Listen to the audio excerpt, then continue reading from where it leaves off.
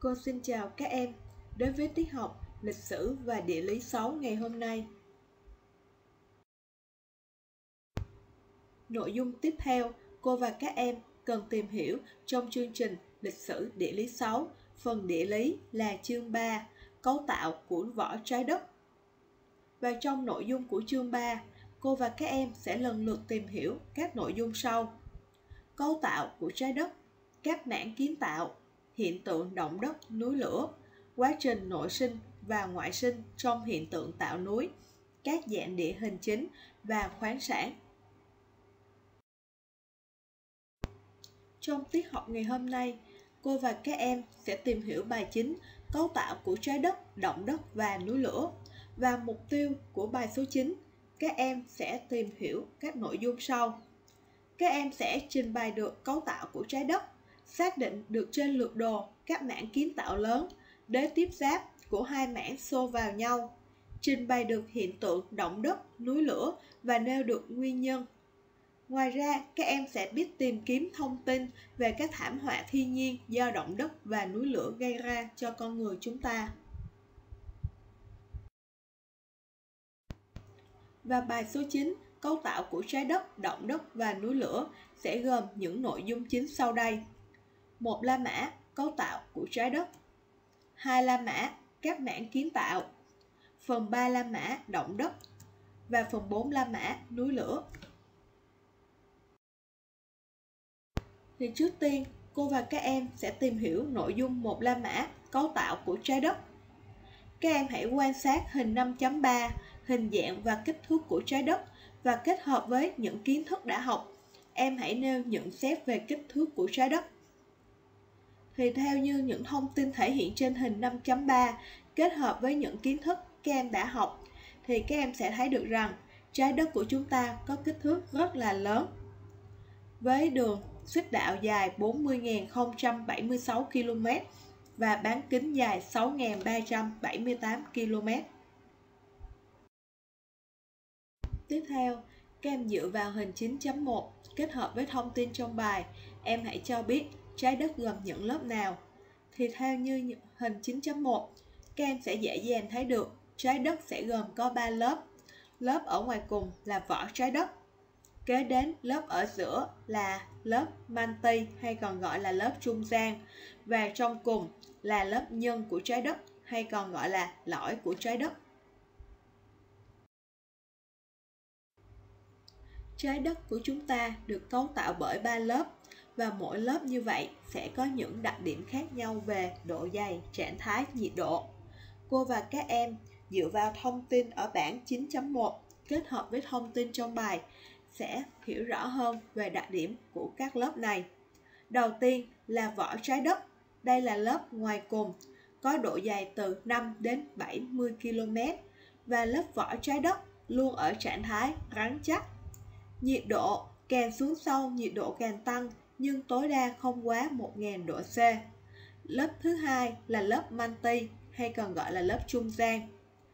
Lớp manti có độ dày gần 3.000 km, trạng thái từ quánh dẻo đến rắn và nhiệt độ khoảng từ 1.500 đến 3.700 độ C.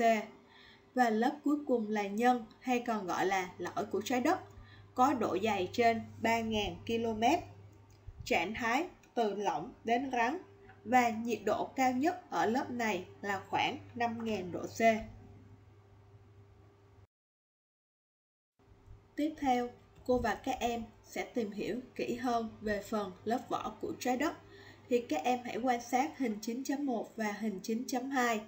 Đặc biệt là hình 9.2, cấu tạo của lớp vỏ trái đất, các em sẽ thấy được rằng Lớp vỏ trái đất của chúng ta được cấu tạo gồm lớp vỏ lục địa và lớp vỏ đại dương. Vậy thì, mỗi lớp vỏ lục địa và vỏ đại dương được cấu tạo bởi loại đá nào và có độ dày ra làm sao? Cô và các em cùng tìm hiểu. Đầu tiên là lớp vỏ lục địa. Các em cùng quan sát. Lớp vỏ lục địa sẽ được cấu tạo bởi đá granite và có độ dày tương đối từ 25 đến 70 km. Còn lớp vỏ đại dương sẽ được cấu tạo bởi đá bazan và có độ dày là mỏng hơn chỉ từ 5 đến khoảng 10 km.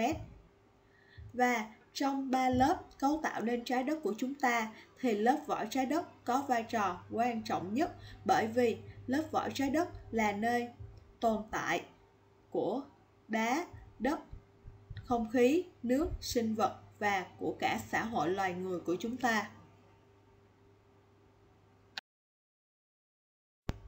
Như cô và các em vừa tìm hiểu, thì lớp nhân của trái đất vào sâu bên trong rất là rắn chắc. Và hiện nay, với kỹ thuật hiện đại, con người đã khoan đến vào sâu bên trong của lớp nhân này với độ sâu là bao nhiêu km, thì cô và các em sẽ cùng tìm hiểu một em có biết. Để tìm hiểu các thành phần của vỏ trái đất Liên bang Nga, một quốc gia thuộc Liên Xô trước đây, đã thực hiện lỗ khoan siêu sâu Kola. Đây là lỗ khoan sâu nhất trên đất liền, hơn 12 km.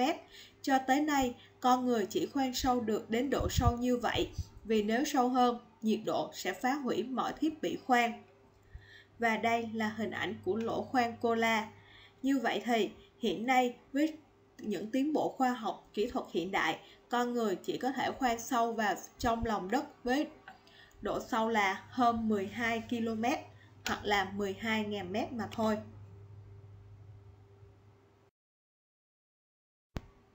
Trong phần 1 La Mã, cấu tạo của trái đất, các em cần nhớ cho cô những ý chính sau đây. Đầu tiên, các em cần phải nhớ cấu tạo của trái đất gồm 3 lớp, vỏ trái đất, manti và nhân. Mỗi lớp có đặc điểm riêng về độ dày, trạng thái, vật chất và nhiệt độ.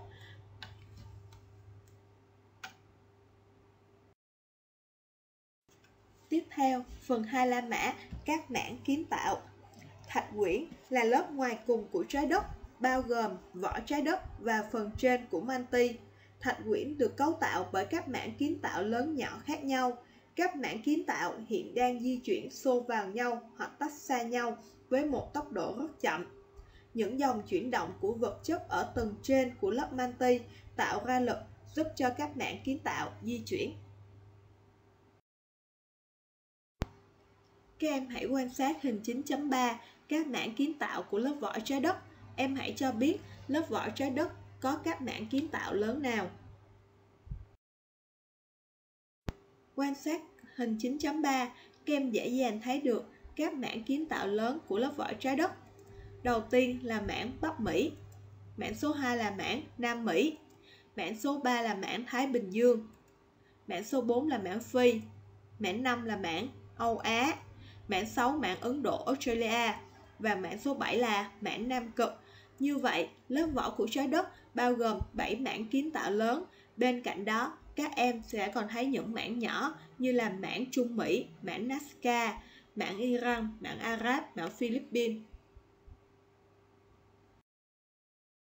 Dựa vào hình 9.3, em hãy cho biết giữa các địa mảng có mấy cách tiếp xúc. Thì các em quan sát thật là kỹ phần chú thích của hình 9.3, các em sẽ thấy được rằng giữa các địa mảng sẽ có hai cách tiếp xúc. Đó là các địa mảng xô vào nhau hoặc là sẽ tách xa nhau. Vậy thì khi hai địa mảng xô vào nhau hoặc hai địa mảng tách xa nhau sẽ sinh ra những hệ quả gì? Cô và các em sẽ cùng tìm hiểu trong phần tiếp theo. Các em quan sát hướng chuyển dịch của các mảng kiến tạo trên hình được chú thích là mũi tên màu xanh. Và khi hai mảng tách xa nhau, sẽ sinh ra những hệ quả gì thì các em cùng quan sát mảng Bắc Mỹ và mảng Á Âu. Thì đây là hai mảng đang tách xa nhau và các em hãy quan sát hình bên tay phải. Là khi hai mảng tách xa nhau thì magma trong lòng đất sẽ được phun trào lên và sẽ tạo nên những cái sóng núi ngầm dưới giữa đại dương. Vậy thì khi hai địa mảng tách xa nhau sẽ hình thành nên những dãy núi ngầm dưới đáy đại dương. Và đây là một số hình ảnh hai địa mảng tách xa nhau và đây là những dãy núi ngầm ở dưới đáy đại dương được hình thành khi hai địa mảng tách xa nhau do magma được phun trào lên trong đò lòng đại dương. Vậy thì, ngoài việc hai mảng tách xa nhau ra thì hai mảng kiến tạo cũng có thể va vào nhau. Quan sát hình 9.3, các em có thể thấy được có nhiều mảng có sự va chạm vào nhau ví dụ như là mảng Âu Á va chạm vào mảng Ấn Độ Australia. và khi hai cái mảng nó xô vào nhau như vậy thì nó sẽ tạo nên những cái rãnh vực sâu dưới đáy đại dương hoặc là tạo nên những cái đảo núi lửa và khi hai mảng va vào nhau còn tạo nên các hiện tượng như là động đất và núi lửa Vậy các em cần nhớ được rằng khi hai địa mảng xô vào nhau sẽ tạo thành núi, sinh ra động đất và núi lửa. Chính vì do sự dịch chuyển của hai mảng Ấn Độ và mảng Á Âu là hai mảng này va vào nhau nên đã dẫn đến sự hình thành nên dãy núi Himalaya và trên dãy núi Himalaya này có đỉnh núi cao nhất thế giới đó là đỉnh Everest và đây là hình ảnh của đỉnh núi Everest với độ cao là 8.849 m, còn được gọi là nóc nhà của thế giới. Tiếp theo là một số hình ảnh về hai điểm mảng xô vào nhau là khi hai điểm mảng xô vào nhau sẽ dẫn đến hiện tượng động đất và hiện tượng núi lửa. Vậy thì hiện tượng động đất và núi lửa là gì? Nguyên nhân hình thành và hậu quả của hai hiện tượng này đối với con người, đối với môi trường trên trái đất như thế nào? Cô và các em sẽ tìm hiểu ở phần 3 và phần 4 trong tiết học ngày hôm nay. Như vậy, đối với phần 2 La Mã, các mảng kiến tạo, các em cần nhớ cho cô những ý chính sau. Đầu tiên, thạch quyển được cấu tạo bởi các mảng kiến tạo lớn nhỏ khác nhau. Các mảng kiến tạo hiện đang di chuyển xô vào nhau hoặc tách xa nhau với tốc độ rất chậm. Và nơi tiếp giáp giữa các mảng kiến tạo chính là những khu vực bất ổn nhất trên trái đất và ở khu vực này thường xuyên xảy ra động đất và núi lửa. Tiếp theo, cô và các em cùng tìm hiểu nội dung phần ba La Mã động đất. Trước tiên chúng ta cần hiểu động đất là gì. Và các em cùng quan sát hình mô hình động đất. Vậy thì chúng ta cần phải biết động đất là hiện tượng xảy ra khi lớp vỏ trái đất bị rung chuyển với nhiều cường độ khác nhau và động đất chỉ diễn ra trong thời gian ngắn và nó diễn ra một cách bất ngờ đột ngột cô và em cùng tìm hiểu một em có biết động đất tại Nepal. Tháng 4 năm 2015, tại Kathmandu ở Nepal đã xảy ra một trận động đất với cường độ vào khoảng 7-8 độ Richter, gây ra thương vong cho gần hàng nghìn người. Nhưng chứng sống sót mô tả, khi đang làm việc trong phòng, bỗng nhiên bàn làm việc rung lắc mạnh, sau đó điện tắt, các thiết bị như lò vi sóng, tivi rơi xuống đất vỡ tan, thành phố đổ nát, không hy vọng gì sẽ có điện lại và nước trở nên rất quý giá. Các chuyên gia xác định sự dịch chuyển của mảng Ấn Độ Australia về phía Bắc là nguyên nhân của trận động đất. Sự dịch chuyển mạnh của mảng này dẫn đến va đập ở các chỗ nứt gãy và làm chấn động vùng núi Himalaya. Vậy thì, dựa vào thông tin trong bài và thông tin trong một em có biết em hãy mô tả lại diễn biến, nguyên nhân và hậu quả của một trận động đất. Cái này rất là dễ. Những nội dung đã được thể hiện đầy đủ trong bài học và nội một em có biết. Rồi, trước tiên là các em sẽ cùng mô tả lại diễn biến của trận động đất. Và trận động đất này diễn ra với cường độ là 7,8 độ Richter khi mọi người đang làm việc thì các thiết bị bị rung lắc và rơi xuống đất vỡ tan sau khi trận động đất xảy ra thì thành phố sẽ đổ nát, thiếu nước và bị mất điện. Và nguyên nhân xảy ra trận động đất này là do sự dịch chuyển của mạng Ấn Độ Australia về phía Bắc dẫn đến va đập ở các chỗ nứt gãy và làm một chấn động ở vùng núi Himalaya. Và trận động đất sau khi diễn ra đã để lại hậu quả rất là nghiêm trọng, đó là gây ra thương vong cho gần hàng nghìn người.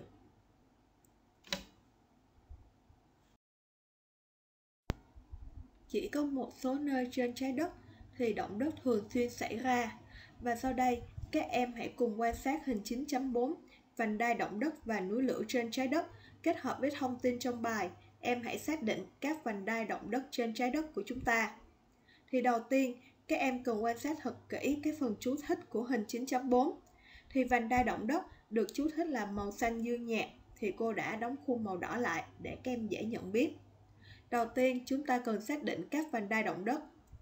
Vành đai động đất đầu tiên đó là vành đai động đất ở phía Tây châu Mỹ. Vành đai động đất thứ hai là vành đai động đất ở phía Tây Thái Bình Dương. từ eo biển Bering qua Nhật Bản đến Philippines. Vành đai động đất thứ ba là vành đai động đất địa Trung Hải qua Nam Á đến Indonesia. Và cuối cùng là vành đai động đất ở giữa Đại Tây Dương. Ở những vành đai động đất này là do nơi tiếp giáp giữa các mảng kiến tạo nó vẫn chưa có ổn định nên ở các vị trí này động đất thường xuyên xảy ra. Và hiện nay, thang đo cường độ động đất phổ biến trên thế giới là người ta dùng thang đo Richter và mỗi mức độ khác nhau thì trận động đất đó sẽ gây nên những tác hại hậu quả khác nhau. Cô và các em cùng xem cái bản mô tả. Thì động đất ở mức độ nhẹ thì thang đo Richter là ở từ 4 đến 5 Richter và trận động đất này sẽ gây nên tác hại là các đồ vật trong nhà bị rung chuyển. Trận động đất ở mức độ trung bình là từ 5 đến 6 độ Richter sẽ, là, sẽ làm cho đồ vật treo trên tường bị rơi xuống. Một trận động đất mạnh sẽ từ 6 đến 7 độ Richter và sẽ làm hư hại các công trình xây dựng thông thường. Trận động đất rất mạnh từ 7 đến 8 độ Richter làm cho một tòa nhà bị dịch chuyển khỏi nền móng và xuất hiện những vết nứt trên bề mặt đất. Và động đất cực mạnh là từ 8 đến 9 độ Richter làm cho cầu bê tông, đường xá bị phá hủy và có thể gây nên sóng thần. Và động đất cực mạnh là 9 độ Richter trở lên. Sự phá hủy ở đây là gần như hoàn toàn. Và trận động đất cực mạnh từ 9 độ Richter trở lên là sẽ hiếm khi xảy ra. Và đây là hình ảnh một số trận động đất lớn xảy ra trên thế giới. Hình ở phía trên đó là động đất ở Nhật Bản. Hình kế bên là động đất ở Tứ Xuyên Trung Quốc, động đất ở Thổ Nhĩ Kỳ và động đất ở Myanmar. Bốn trận động đất xảy ra ở bốn quốc gia khác nhau và cả bốn quốc gia này đều nằm ở khu vực các vành đai động đất trên trái đất.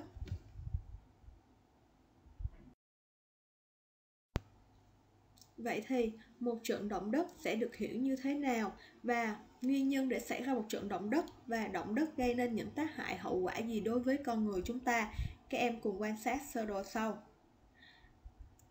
Về phần khái niệm, động đất chính là hiện tượng lớp vỏ trái đất bị rung chuyển với nhiều cường độ khác nhau và diễn ra trong thời gian ngắn. Nguyên nhân xảy ra động đất là do sự dịch chuyển của các mảng kiến tạo và một trận động đất sẽ để lại hậu quả rất là nặng nề sẽ làm đổ nhà cửa các công trình xây dựng gây thiệt hại lớn về người và tài sản Ngoài ra, trận động đất với cường độ mạnh có thể gây nên lở đất, biến dạng đáy biển, làm phát sinh sóng thần khi xảy ra ở biển.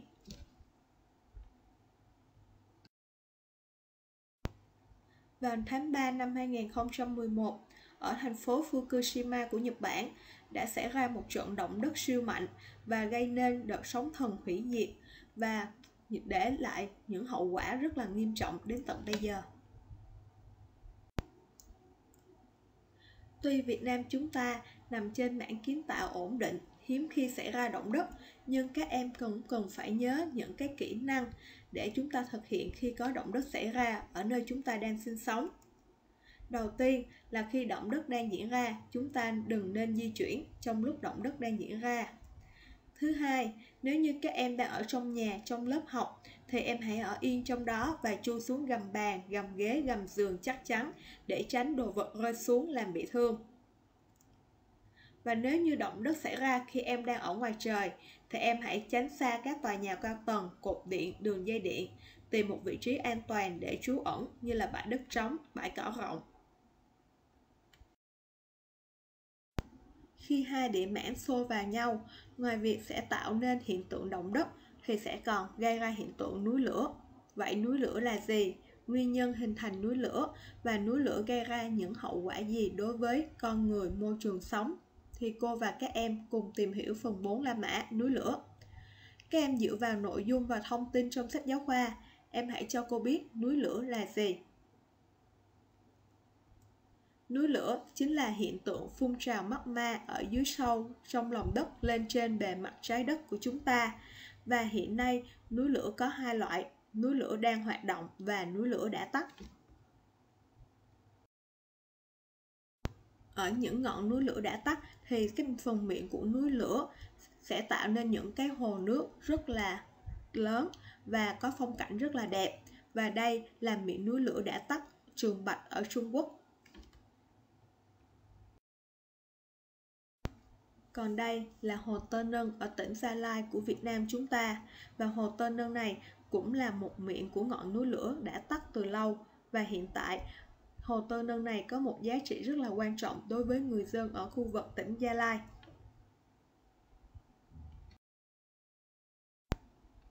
Như vậy, một ngọn núi lửa sẽ gồm các bộ phận nào thì các em cùng quan sát hình các bộ phận của núi lửa. Đầu tiên, cấu tạo của núi lửa sẽ gồm có magma ở sâu trong lòng đất. Và để đẩy được magma ra bên ngoài lên trên bề mặt trái đất thì cần có ống phun. Và miệng của núi lửa thì là nơi để magma thoát ra bên ngoài. Và miệng núi lửa thì sẽ gồm có miệng chính và miệng phụ. Và ngoài ra, các em còn phải kể đến là dung nham sau khi magma được đẩy từ sâu trong lòng đất ra bên ngoài lên trên bề mặt trái đất thì đó gọi là dung nham. Và ngoài ra, khói bụi cũng là một trong những cấu tạo của một ngọn núi lửa. Bởi vì trước khi núi lửa phun trào magma dung nham ra bên ngoài thì nó sẽ phun trào khói bụi ra trước. Cũng giống như động đất thì không phải nơi nào trên trái đất cũng có núi lửa xảy ra. Thì sau đây các em hãy dựa vào hình 9.4 và thông tin trong bài, em hãy xác định các vành đai núi lửa trên trái đất. Thì vành đai núi lửa thì được chú thích là những cái sọc màu đỏ như trên hình của cô. Và đầu tiên vành đai núi lửa là vành đai núi lửa ở phía tây châu Mỹ. Vành đai núi lửa ở phía tây Thái Bình Dương từ eo biển Bering qua Nhật Bản và đến Philippines. Và vành đai núi lửa thứ ba là vành đai núi lửa phía đông Đại Tây Dương.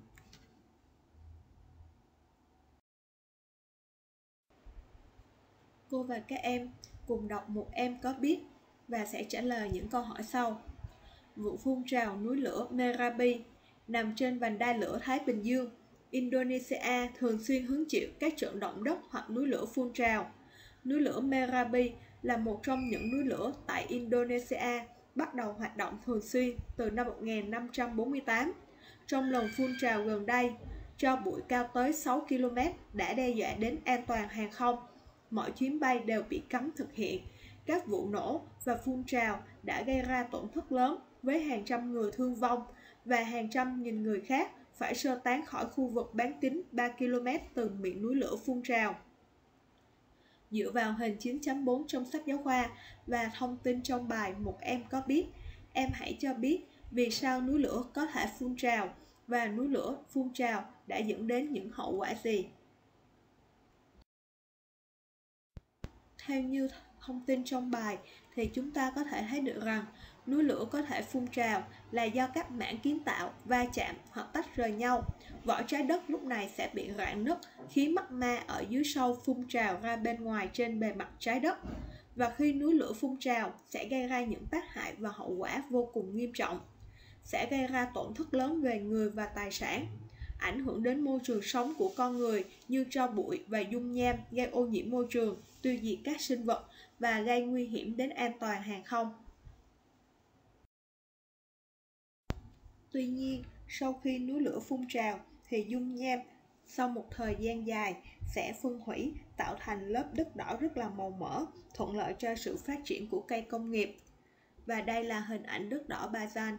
Đất đỏ Bazan là một sản phẩm phong hóa từ đá Bazan được hình thành do magma phun trào ra ngoài từ miệng núi lửa rồi nguội đi. Và đất đỏ ba gia này rất thích hợp trồng những các loại cây công nghiệp có giá trị kinh tế cao. Còn đây là hình ảnh cây cà phê và cây cao su. Đây là hai loại cây công nghiệp có giá trị kinh tế cao được trồng trên vùng đất đỏ Bazan. Vậy thì Đối với núi lửa, các em cần phải nhớ những ý chính sau đây.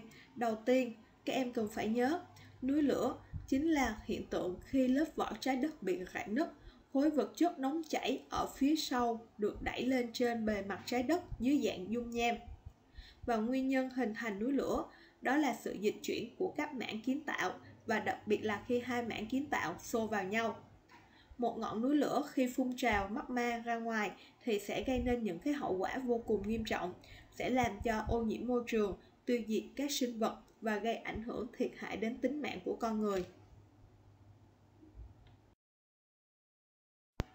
Cô và các em vừa tìm hiểu về hai hiện tượng thường xuyên xảy ra trên trái đất và có ảnh hưởng rất là nghiêm trọng đối với đời sống con người chúng ta, đó là động đất và núi lửa.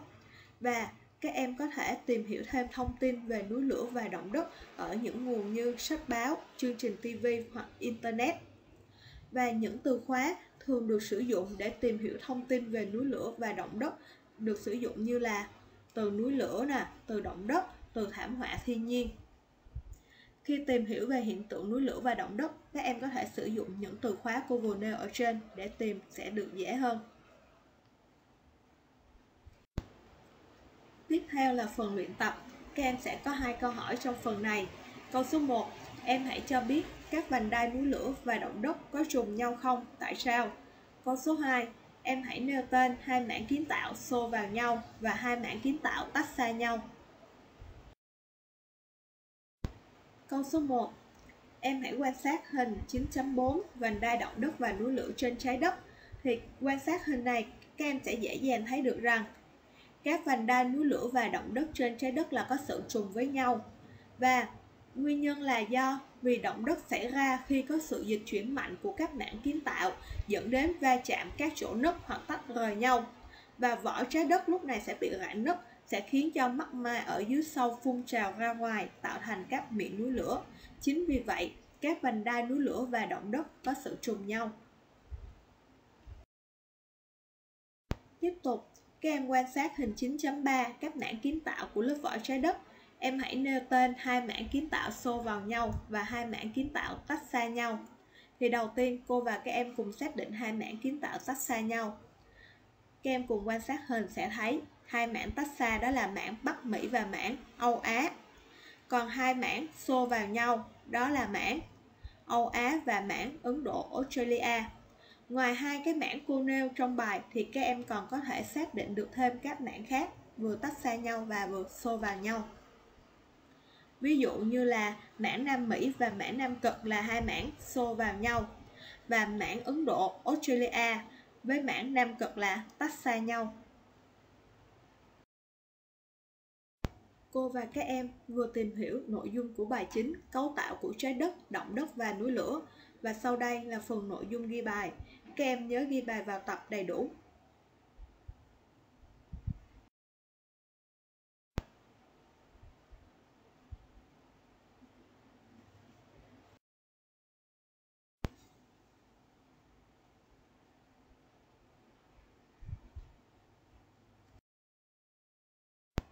Về nhà, các em nhớ ghi bài vào tập, học bài và chuẩn bị bài tiếp theo là bài số 10. Cô chào các em và hẹn gặp lại các em vào tiết học sau.